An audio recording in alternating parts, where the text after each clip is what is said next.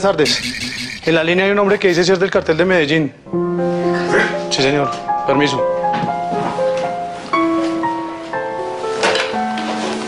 Aló.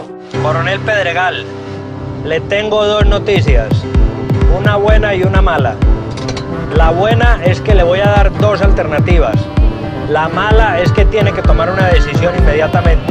¿Con quién hablo?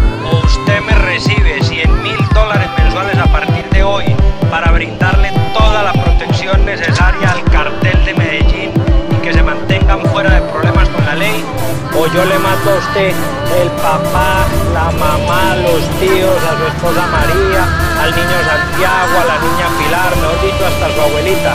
Y si su abuelita ya está muerta, yo se la desentierro y se la vuelvo a matar.